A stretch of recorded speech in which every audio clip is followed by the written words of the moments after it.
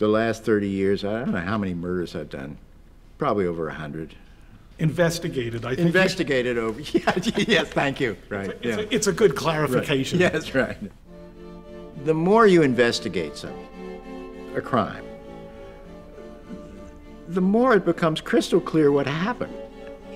I don't think any other crime that I know of in history has been investigated with the kind of intensity that this has. And yet, I don't think we get any closer to knowing what happened now than we were you know, 40, 45 years ago. I'd been thinking about November 22nd again. The phrase tectonic shift kept coming to me. And I kept thinking about December 7th, 1941. And about 9 11. Of course, 9 11, we're all there glued to our TV. But November 22nd was different. There was no why. Friday afternoon, the why is that there's some Marxist sympathizer nutcase in Dallas, of all places, who decided to shoot the president.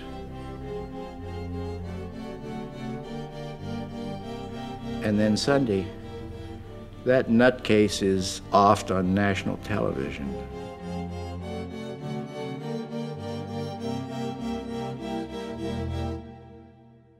Was different about November 22nd and the tectonic shift that occurred there was right from the beginning.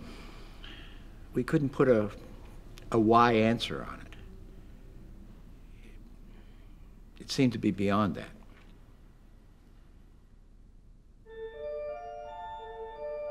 this case has become so cliched, it seems to me. I mean, with conspiracy theories here, conspiracy theories there, etc. And what I'm struggling with is this. I know this happened one way rather than another. It had to happen one way, right? If you could get inside the photos, you would know what happened. There were somewhere between 20 and 30 photographers actually taking film movie film or still photos in Dealey Plaza that day. The film evidence actually makes it possible to lay out a reasonably precise scenario as to what happened. That's really the problem for the authorized account.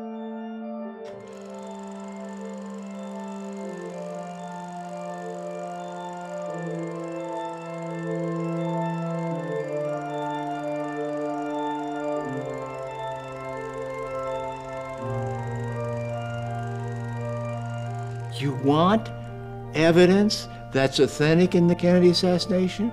I'll tell you where to find it. Go to the films and photos of Dealey Plaza, the most obvious place. Yeah, it's all authentic because it authenticates itself. For example, Mary Muchmore is taking 8 millimeter movie film, not from the Zapruder side, from the other side it gets shown on TV in New York where an FBI agent sees it. Says, oh, the Bureau doesn't know anything about this film. Could we get a copy? Orville Nix took 8 millimeter movie film of the assassination, of the shooting, from the center of Dealey Plaza. Uh, standing on the corner of uh, Main and Houston. They're taking pictures before the assassination and during the assassination. He didn't think much of it. He had a lot of film left. So he just left the film in his camera and went off. He photographed a high school football game the next weekend. Mary Moorman and Jean Hill, good looking girls, they go there to take Polaroid shots of motorcycle cops. She snaps a Polaroid photograph which shows the grassy knoll area at Zapruder frame 315. Now Kennedy's hit in the head at 313, within two eighteenths of a second of him getting hit. So having my picture uh, when I took it was at the same instant that the president was hit. And that does show in my picture. They get interrogated by Dallas County deputies. One of the deputies takes her photograph and takes a photograph of the photograph. And that's on the AP wire within two hours. The beauty of all this is look, none of this stuff is controlled by the government. It's pristine, as it were. It's a great source of evidence. No one was interested in the photographic evidence except for the news media. Right. Magazines had to show something. The authorities didn't see them as evidence. I think it's too strong to say that they didn't see it as, as evidence. I think that's too too strong. But they weren't they weren't very how to put it, they weren't very enthusiastic. Let's talk about Forrest Sorrels, the resident Secret Service agent in Dallas.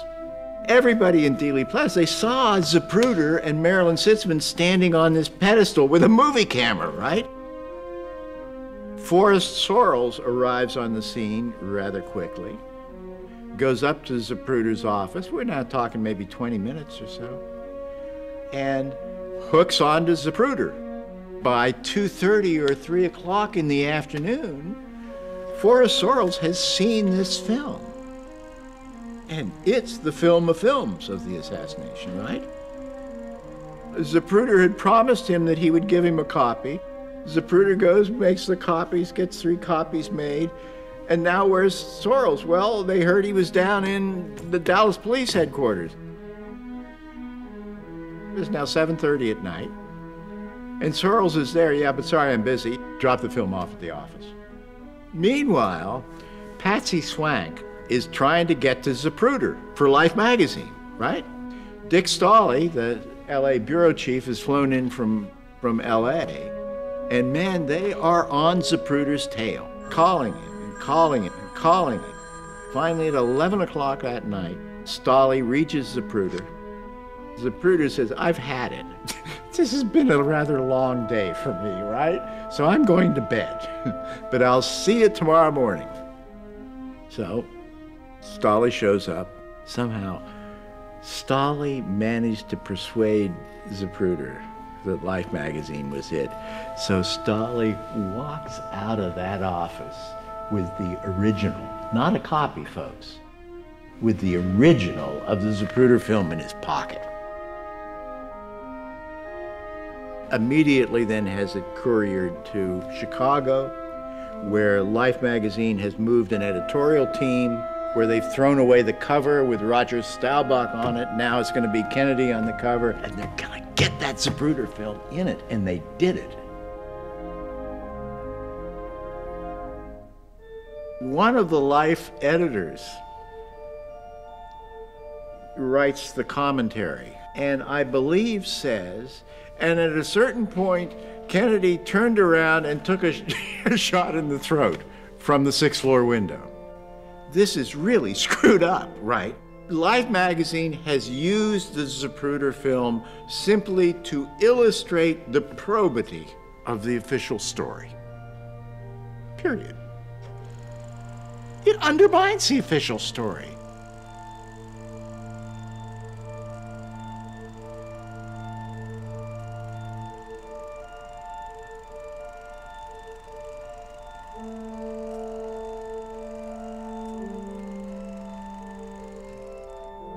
Over the last 15 years, various people have claimed that the Zapruder film has been altered. And, uh, and then the problem is, you point out that the Zapruder film matches the Nix film, matches the Muchmore film, matches this film and that film. Well, they're all altered, see? They're all altered. But that's absolute nonsense. I mean, they weren't all altered. None of them were altered.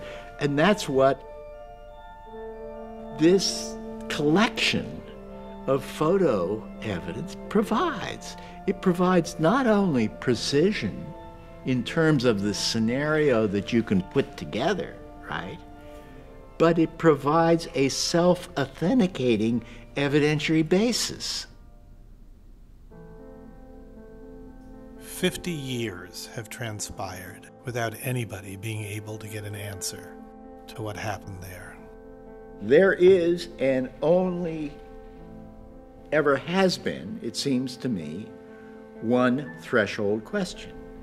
It's the only question in the case from the very beginning was somebody shooting from up there, up front, up the right front, up there in the knoll area. Was somebody shooting from up there? If shots came from more than one direction, then there is no doubt in my mind there was a conspiracy. It's been that simple since back in the 60s, and it's still there. If that can't be known, and I'm not talking about believed or believed with a fair degree of probability, right?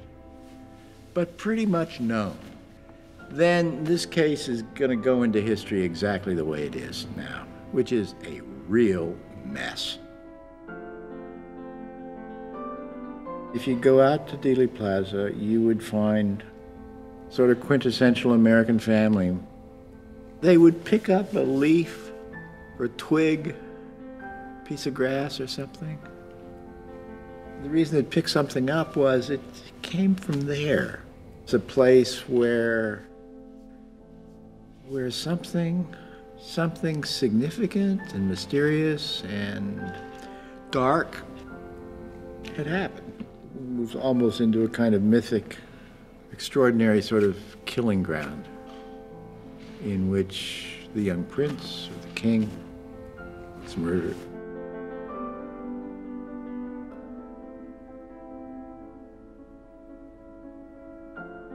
People continue to go there to think they can figure it out. Maybe you can. I don't know.